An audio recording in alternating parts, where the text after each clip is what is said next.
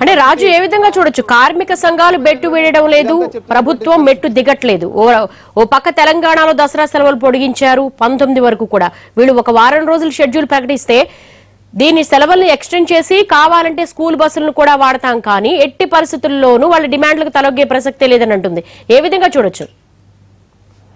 ఇప్పుడు ఇక్కడ ఉన్నటువంటి ఒక గందరగోళం నిజానికి ఇదే అని చెప్పుకోవచ్చు దేవి. ప్రధానంగా ఎవరైనా సమ్మెకు వెళ్ళినప్పుడు ప్రభుత్వం వచ్చి వాళ్ళతో చర్చలు జరపడం కానీ లేదంటే పలానా విషయంలో మేము కొంత ఇది వదిలిపెడుతున్నాము ఇంకొక రెండు పాయింట్స్ ఉన్నాయి. వాటిని మాకు సాల్వ్ చేయండి అని చెప్పి ఎప్పుడైనా కార్మిక సంఘాలతో పాటు ఆ ప్రభుత్వం మధ్య జరిగే చర్చలు ఉంటాయి. కానీ ఇప్పుడు ఉన్నటువంటిది ఏదైతే ఐదో తేదీన వీళ్ళు సమ్మెకు వెళ్ళిన రోజు నుంచి చూస్తే మేమిక కార్మిక సంఘాలతో చర్చలు జరిపేది లేదని చెప్పారు. అయినప్పటికీ కార్మిక సంఘాలు ఏమాత్రం వెనక్కి తగ్గకుండా వాళ్ళు మొదటి రోజు ఏదైతే స్టాండ్ చెప్పారో మేము కోరుతున్నటువంటి డిమాండ్లు ప్రభుత్వంలో విలీనంతో పాటు మిగతా అంశాలు ఇరవై ఆరు అంశాలు ఉన్నాయి. వాటన్నిటి విషయంలో వెనక్కి తగ్గేది లేదు.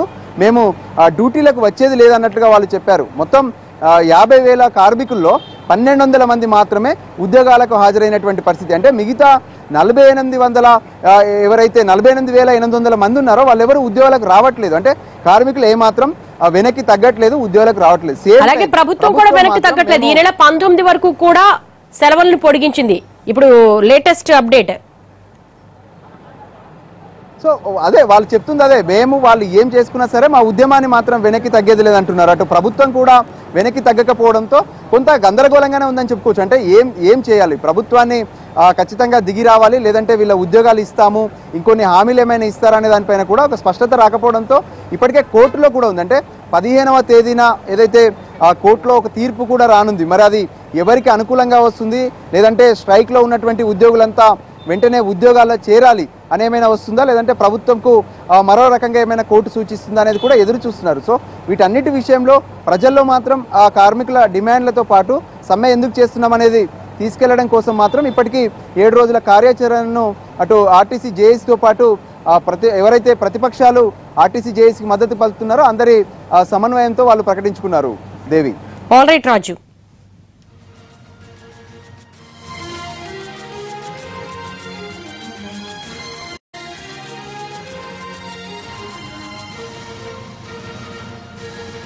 ఓ పక్క ఆర్టీసీ జేఏసీ పంతొమ్మిది వరకు బంద్ ప్రకటించి తమ కార్యాచరణను ప్రకటించింది. తమ ధర్నాలకు సంబంధించి మరోవైపు ప్రభుత్వం కూడా మెట్టు దిగట్లేదు. ఈ నెల పంతొమ్మిది వరకు సెలవులు పొడిగించింది. దీనికి సంబంధించి మరిన్ని వివరాలు మా ప్రతినిధి సోంగోపాల్ అని తెలుసుకుందాం. సోంగోపాల్ ఓ పక్క పంతొమ్మిదిన రాష్ట్ర బంద్కు పిలుపునిచ్చింది జేఏసీ.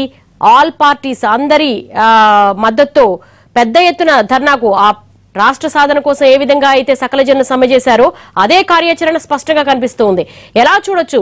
ప్రభుత్వం కూడా పంతొమ్మిది వరకు సెలవులు ప్రకటించింది. ముఖ్యమంత్రి కేసీఆర్ కొద్దిసేపటి క్రితమే ఆర్టీసీ సమ్మెపై ఉన్నత స్థాయి సమావేశం ఆ, నిర్వహించారు. అందులో ఆర్టీసీ సంబంధించిన రవాణా శాఖ మంత్రి ఆర్టీసీ అధికారులు ఈ సమావేశంలో పాల్గొన్నారు. పోలీసు ఉన్నతాధికారులు కూడా సమావేశంలో పాల్గొన్నారు. కొద్దిసేపటి క్రితమే ఆర్టీసీ జేఏసీ విపక్షాలతో కలిసి ఒక కార్యాచరణ ప్రకటించింది. పంతొమ్మిదవ తేదీ ఆ, బంద్కు తెలంగాణ బంద్కు పిలుపునిచ్చింది అప్పటి వరకు అంటే పద్దెనిమిది తేదీ వరకు రోజుకొక వినూత్న కార్యక్రమాన్ని చేయాలని పిలుపునిచ్చింది. అందులో రాష్ట్ర రోకలు బహిరంగ సభలు అలాగే డిపోల ముందు బైఠాయింపులు మానవహారాలు రాష్ట్ర రోకులు అలాగే కల్చరల్ ప్రోగ్రామ్స్ ఇవన్నీ కూడా నిర్వహించాలని ఆ, ఇప్పటికే నిర్ణయం తీసుకున్నారు. ఈ పిలుపు నేపథ్యంలో సీఎం కేసీఆర్ ఆ, కీలక నిర్ణయం తీసుకున్నారు పంతొమ్మిదో తేదీ వరకు.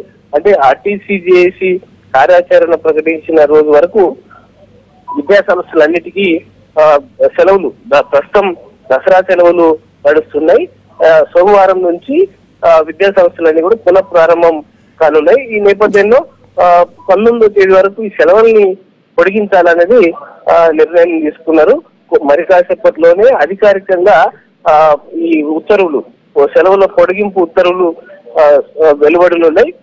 అయితే ఈ ఇన్ని రోజుల పాటు దాదాపు అంటే ఆ, పదమూడవ తేదీ నుంచి పంతొమ్మిదవ తేదీ వరకు ఇన్ని రోజులు ఆ, విద్యా సంస్థలు నడకపోతే మాత్రం సిలబస్ విషయంలో కొంత ఇబ్బంది వస్తుంది.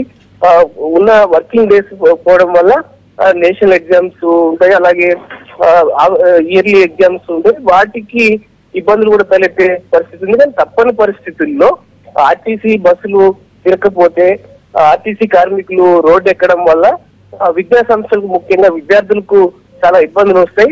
వాటన్నిటిని దృష్టిలో ఉంచుకొని బయట విద్యార్థులు తల్లిదండ్రులు ఇబ్బంది పడొద్దనే ఉద్దేశంతో సీఎం కేసీఆర్ ఈ నిర్ణయం తీసుకున్నట్టు మనకు కనిపిస్తుంది. అలాగే ఆల్టర్నేటివ్ అరేంజ్మెంట్కి సంబంధించి కూడా అధికారికంగా మరి కాసేపట్లోనే ప్రకటన రాబోతుంది. ఎలా ఆల్రైట్ సోంగోపాల్